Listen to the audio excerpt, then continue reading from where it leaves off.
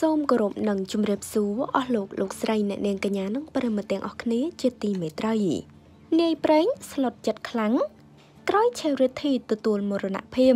ក៏បានបង្ហាញអារម្មណ៍យ៉ាងសោកសៅថា ចាថាតើនាយប្រេងបានបង្ហោះសារបែបណានោះឥឡូវយើងតាមដានព័ត៌មានលម្អិតទាំងអស់គ្នាជឿជាក់ថាប្រិមិត្តពិតជាស្គាល់កម្មវិធី Master Chef Cambodia ត្រូវបានទទួលបានការចាប់អារម្មណ៍ ពីសំណាក់មហាជនជាច្រើនរាល់ការចាក់ផ្សាយម្ដងម្ដង មានអ្នកចូលមើលមិនក្រោម20ម៉ឺនដងនោះទេព្រោះគេពិតជាចង់ដឹងថា ទឹកដៃនៃការចូលរួមពិតជាអស្ចារ្យលុយប៉ុណ្ណាទៅហ៊ានចូលប្រកួតពីសំណាក់បេក្ខជនជាដើម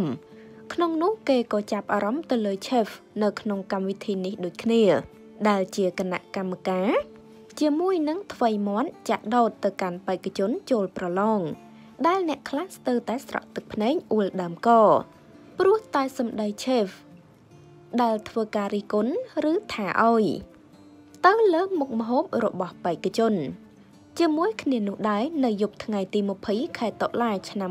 2020នេះរឿងដែលគួរឲ្យភ្ញាក់ផ្អើលមួយបានកើតឡើង ដែលបុរសម្នាក់ដែលអះអាងថាជាប្អូនធររបស់ Chef Rithi បានបង្ហោះសារ ដំណឹងមរណភាពរបស់ឆេវរិទ្ធីដែលធ្វើឲ្យម្នាក់ម្នាក់ស្រឡាំងកាំងនឹកស្មានមិនដល់គ្រប់គ្នា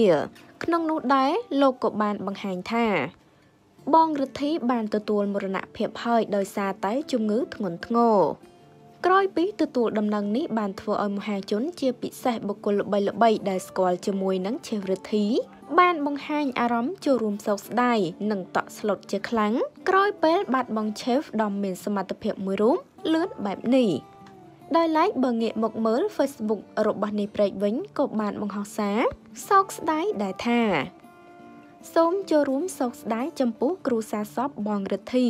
គណៈកម្មការកម្មវិធី Master Chef ខ្មែរកម្មវិធីចាក់ផ្សាយមិនតាន់ចប់ផងមិនគួរបងអាយុខ្លីចឹងសោះ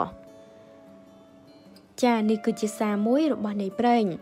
ដែលបានបង្ហោះចូលរួមសោកស្ដាយចំពោះក្រុមគ្រួសារនៃសំឆេវរិទ្ធីដែលលោកបានបញ្ជាក់ថាកម្មវិធីចាក់ផ្សាយមិនទាន់ចប់ផងបងមិនគួរអាយុខ្លីចឹងទេ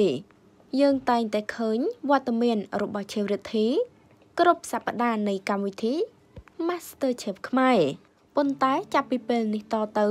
លែងមានវត្តមានលោកបង្ហាញមុខទៀតហើយពិតជាស្លុតចិត្តខ្លាំងណាស់ ចាហើយតកតងនឹងព័ត៌មាននេះដែរក៏សូមបញ្ចប់តែត្រឹមនេះអរគុណបងប្អូនទាំងអស់គ្នាសូមចុច Subscribe និងរូបកណ្ដឹងដើម្បីទទួលបានព័ត៌មានថ្មីៗជាបន្តទៀតសូមអរគុណសូមគោរពលា